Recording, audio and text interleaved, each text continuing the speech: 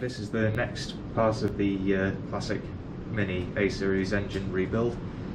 Um, I've got the block back off the engineering shop. Uh, I've just uh, yeah checked the piston clearance to the deck. Um, there's a tiny bit of protrusion, but that's fine. Um, the head gasket will take up that. What happened to this engine was the head gasket between the middle two cylinders failed, which cracked the block across here, and it's also cracked the head. So at the moment, I'm trying to trying to modify another head, port it, and all that ready because I spent a very long time doing the other one. But um, yeah, so if you can see the repair job, it's quite impressive actually. I don't know if you can see. Uh, you can see in the middle there's a tiny, tiny little bit of the original metal left, but the repair that's been done is very impressive actually. He bored out the middle two cylinders, pressed in sleeves,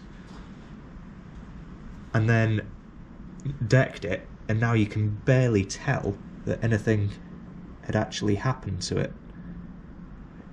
Um, so it should be, yeah, it should be absolutely fine once it's built.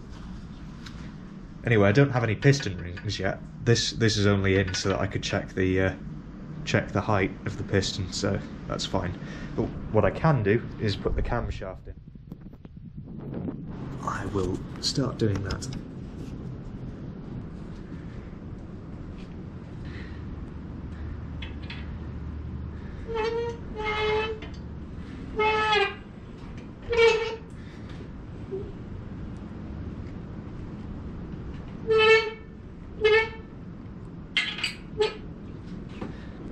Actually, no. First thing to do is put the oil pump in.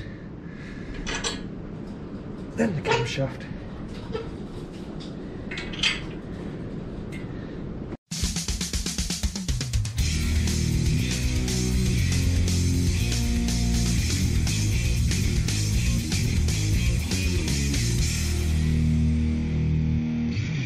So now that's done, I'm gonna install the camshaft.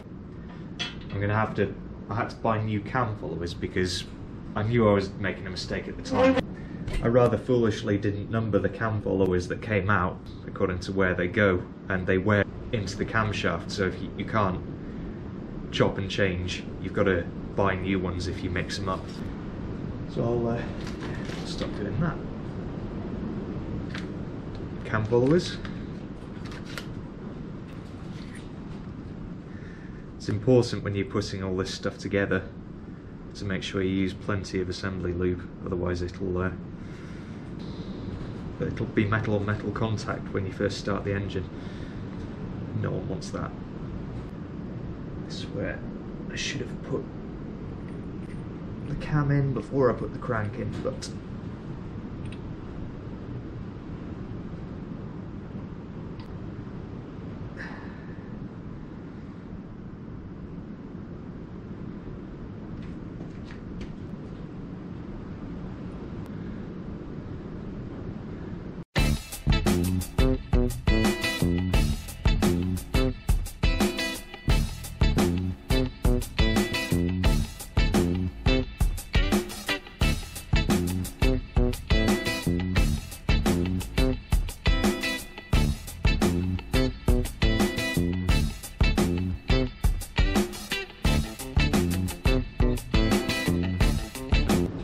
so that's the cam follow, is it?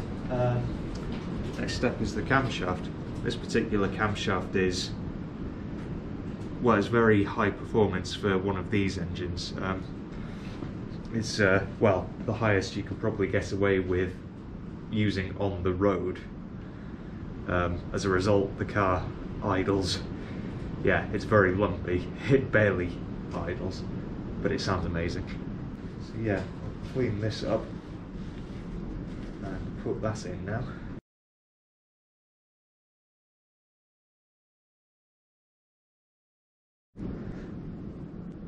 Okay, so that's the camshaft in. It's not held in place or anything, but I can now show you exactly how uh, how this particular valve train works. Um, so inside here, the crank turns the camshaft, and because this is an old engine design, um, it uses push rods, um, which are they're they're basic, but it makes it hard to change the hard to change the camshaft, and also they can't rev as high because it's got to move so much weight, and unless you have very uh, hard valve springs, which I do in this engine. But uh, so as the camshaft turns, the lobes push the cam followers up. And then you've got push rods which go into all of these holes at the top which you can't see. But um, you can see that. This is a chainsaw file not a push rod. But this is what actuates the valves. So uh, this pushes on a little lever at the top of the engine so as it goes up it pushes the valve open and then as it drops it shuts again. Same as a normal. Anyway thought you might be interested. You might not be.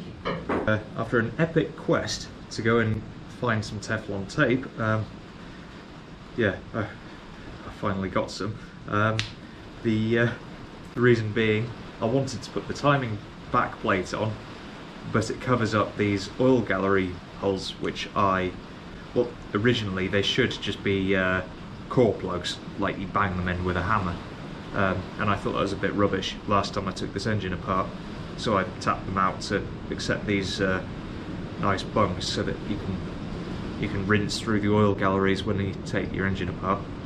I was kind of hoping it would be 20 years before that happened but it wasn't. So uh, yeah I can get on with uh, putting those together. It's only taken three hours to get this far.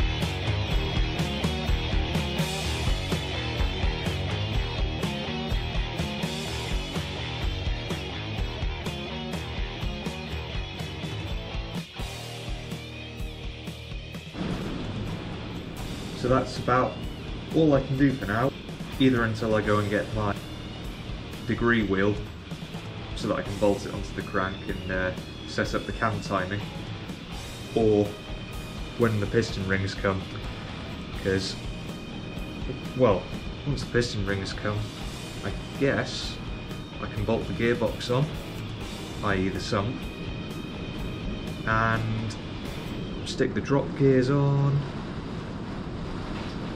yeah, it all, depends on the piston rings, so I'll carry on whenever they arrive.